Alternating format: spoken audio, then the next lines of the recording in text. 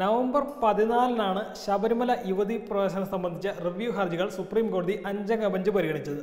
Review ഹർജികളെല്ലാം ചേംബറിലിട്ട് തള്ളും എന്ന് വീമ്പിളക്കിയ പ്രമുഖ അഭിഭാഷകരെ അമ്പരപ്പിച്ചുകൊണ്ടാണ് ഹർജികളെല്ലാം പരിഗണിച്ചത്. അതിന് പിന്നാലെ റിവ്യൂ ഹർജികളെല്ലാം വിശാലമായ ഏഴംഗ ബെഞ്ചിലേക്ക് വിട്ടുകൊണ്ടുള്ള വിധിയാണ് പിന്നീട് വന്നത്. കെ പരാശരൻ അഭിഷേക് മനു സിംഗ്വി വി ഗിരി ശേഖർ നഫാഡെ സായ് ദീപക് തുടങ്ങിയ പ്രഗത്ഭരായ അഭിഭാഷകരാണ് ഭക്തർക്കു വേണ്ടി മുൻനിരയിൽ നിന്ന് വാദിച്ചത്. എങ്കിലും കെ പരാശരനെയും അഭിഷേക് മനു സിംഗ്വിയെയും പോലുള്ള മുതിർന്ന അഭിഭാഷകരുടെ വാദങ്ങൾക്കിടെ ഏറ്റവും ശ്രദ്ധേയമായ വാദം സായ് ദീപക് എന്ന യുവ അഭിഭാഷകന്റേതായിരുന്നു പന്തളം കൊട്ടാരത്തിനും പീപ്പിൾ ഫോർ ധർമ്മ എന്ന കൂട്ടായ്മയ്ക്കും വേണ്ടിയാണ് സായ് ദീപക് ഹാജരായത്.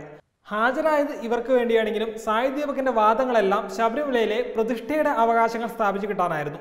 ശബരിമല കയറാൻ നടക്കുന്ന സ്ത്രീകൾക്ക് വേണ്ടിയും ക്ഷേത്രത്തിന് വേണ്ടിയും ദേവസ്വം ബോർഡിന് വേണ്ടിയും പലരും വാദിച്ചുവെങ്കിലും അവരാരും തന്നെ പ്രതിഷ്ഠയ്ക്ക് വേണ്ടിയല്ല വാദിച്ചത്. എന്നാൽ സായ് ദീപക് വാദിച്ചത് ശബരിമലയിലെ പ്രതിഷ്ഠയ്ക്ക് വേണ്ടിയാണ്. അതുകൊണ്ടാണ് ഇപ്പോൾ സായ് ദീപക് ദൈവത്തിന്റെ വക്കീൽ എന്നുകൂടി അറിയപ്പെടുന്നത്. നയാ പൈസ പ്രതിഫലം വാങ്ങാതെയാണ് ശബരിമല കേസിൽ സായ് ദീപക് വാദിച്ചത് എന്ന പ്രത്യേകത കൂടിയുണ്ട്. കാച്ചിക്കുറുക്കിയ കുറുക്കിക്കൊള്ളുന്ന വാദങ്ങളാണ് സായ് ദീപകന്റെ പ്രത്യേകത. നേരത്തെ യുവതീ പ്രവേശന വിധി വരും മുമ്പ് ഈ വിഷയത്തിൽ നടന്ന വാദത്തിലും സായ് ദീപകന്റെ വാദങ്ങൾ ഏറെ ശ്രദ്ധിക്കപ്പെട്ടതാണ്. ഇപ്പോൾ റിവ്യൂ ഹർജികൾ പരിഗണിച്ചപ്പോഴും സായ് ദീപകന്റെ വാദങ്ങൾ ശ്രദ്ധേയമായിരുന്നു. സുപ്രീം കോടതി മുറിയിൽ തീപ്പൊരി വാദങ്ങളാണ് മികച്ച പ്രാസംഗികം കൂടിയായി സായ് ദീപക് കാഴ്ചവെച്ചത്. ശബരിമലയിലെ പരമ്പരാഗതമായ ആചാരങ്ങൾ സംരക്ഷിക്കാൻ കോടാനുകോടി ഭക്തജനങ്ങളുടെ വിശ്വാസം വ്രണപ്പെടാതിരിക്കാൻ സായ് ദീപക് ശക്തിയുക്തം വാദിച്ചു. സായ് ദീപക് റിവ്യൂ ഹർജികൾ പരിഗണിക്കവേ കോടതി നടത്തിയ വാദങ്ങൾ ഇപ്പോൾ സോഷ്യൽ മീഡിയയിൽ വ്യാപകമായി പ്രചരിക്കുന്നുണ്ട്. ആചാരം അനിവാര്യമാണോ എന്ന് തീരുമാനിക്കേണ്ടത് സമുദായമാണെന്നും യുവതി വിലക്കിൽ മൗലികാവകാശ ലംഘനം ഇല്ലെന്നുമായിരുന്നു സായി ദീപകിന്റെ കാതറായ വാദം. സുപ്രീം കോടതി റദ്ദാക്കിയ കേരള ഹിന്ദു പൊതു ആരാധന സ്ഥലപ്രവേശന നിയന്ത്രണ ചട്ടത്തിലെ ത്രീ ബിയിൽ ശബരിമല യുവതി വിലക്ക് ഉൾപ്പെടില്ല. രണ്ട് വിജ്ഞാപനങ്ങളിൽ മാത്രമാണ് യുവതികളെ വിലക്കുന്നതിനെ കുറിച്ച് പറയുന്നത്. ഒരു സമുദായത്തിലെ ആചാരം ഒഴിച്ചുകൂടാനാവാത്തതാണോ എന്ന് കോടതി പരിശോധിക്കുമ്പോൾ ആ സമുദായത്തിന്റെ വാക്കുകൾ കൂടി അംഗീകരിക്കണം. ഇതാണ് സായി വാദിച്ചത്. തന്റെ വാദങ്ങൾക്ക് അടിസ്ഥാനമായി ഭരണഘടനയിലെ ആർട്ടിക്കിൾ ഇരുപത്തഞ്ചിലെ ഒന്നാം അനുച്ഛേദവും ആർട്ടിക്കിൾ ഇരുപത്തി ആറ് ഇരുപത്തി ആറ് ബി എന്നിവയും സായി ദീപക ഉയർത്തിക്കാട്ടി. ആർട്ടിക്കിൾ ഇരുപത്തഞ്ച് ഒന്നാം അനുച്ഛേദത്തിന്റെ അടിസ്ഥാനത്തിൽ ഏതൊരു വിശ്വാസിയുടെയും അവകാശങ്ങൾ ആർട്ടിക്കിൾ ഇരുപത്തിയാറിൽ അധിഷ്ഠിതമാണ്. ഭരണഘടനയിൽ പറഞ്ഞിട്ടുള്ള ഈ അവകാശങ്ങളെല്ലാം ശബരിമലയിൽ പ്രവേശിക്കാൻ വരുന്ന സ്ത്രീകൾക്കും ഭക്തർക്കും ക്ഷേത്രത്തിനും ഒരുപോലെ ബാധകമാണ് പക്ഷേ ഈ അവകാശങ്ങളെല്ലാം ക്ഷേത്രത്തിനുള്ളിലെ പ്രതിഷ്ഠയ്ക്കുമുണ്ട് എന്ന നിർണായകമായ വാദവും സായി ദീപക് ഉന്നയിച്ചു. ഒരു ദേവന് നിയമപരമായ അസ്തിത്വം ഉണ്ടെന്നും അതിനാൽ നിയമപരമായ വ്യക്തിയാണെന്നും ഭരണഘടനയിലെ ഇരുപത്തൊന്ന് ഇരുപത്തഞ്ച് ഒന്ന് ഇരുപത്തി ആറ് എന്നീ വകുപ്പുകൾ പ്രകാരമുള്ള അവകാശങ്ങൾ പ്രതിഷ്ഠിക്കുന്നുണ്ട് എന്നാണ് സായി ദീപക് ഉന്നയിച്ച വാദം.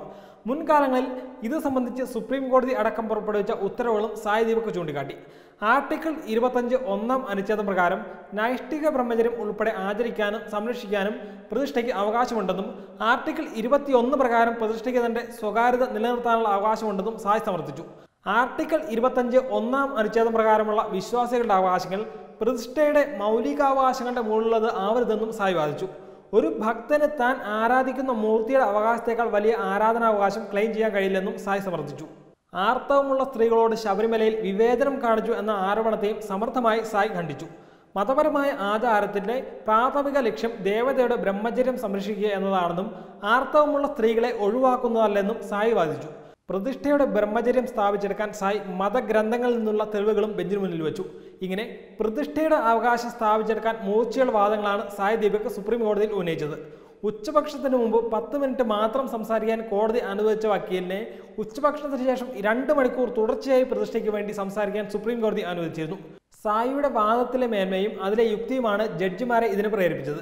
സായിയുടെ വാദത്തിനിടെ ഒരു ജഡ്ജിമാരും അദ്ദേഹത്തോട് നിർത്താൻ ആവശ്യപ്പെട്ടില്ല എന്നതും ശ്രദ്ധേയമാണ്. സായ് ദീപക്കിന്റെ വാദം പ്രബോധനപരമാണ് എന്നാണ് വാദം കേട്ട ശേഷം ബെഞ്ചിൽ ഉണ്ടായിരുന്ന ജസ്റ്റിസ് നരിമാൻ അഭിപ്രായപ്പെട്ടത്. പ്രബോധനപരമായി മാത്രമല്ല യുക്തിയിലും സായ് ദീപക്കിന്റെ വാദങ്ങൾ മുന്നിട്ട് നിൽക്കുന്നതാണെന്നാണ് ചീഫ് ജസ്റ്റിസ് അഭിപ്രായപ്പെട്ടത്. ആചാര സംരക്ഷണത്തിലും വിശ്വാസത്തിലും ഊന്നിയുള്ള ഈ യുവ അഭിഭാഷകന്റെ വാദമുഖങ്ങൾ കൃത്യവും കാര്യക്ഷമവുമായി നിരീക്ഷിക്കപ്പെട്ടു അംഗീകരിക്കപ്പെട്ടു. അഡ്വക്കേറ്റ് സായ് ദീപക് ദേശീയതയുടെയും ഭാരത സംസ്കൃതിയുടെയും ഒപ്പം സത്യത്തിന്റെ നീതിയുടെയും പ്രതീകം കൂടിയാണ്. Web desk news.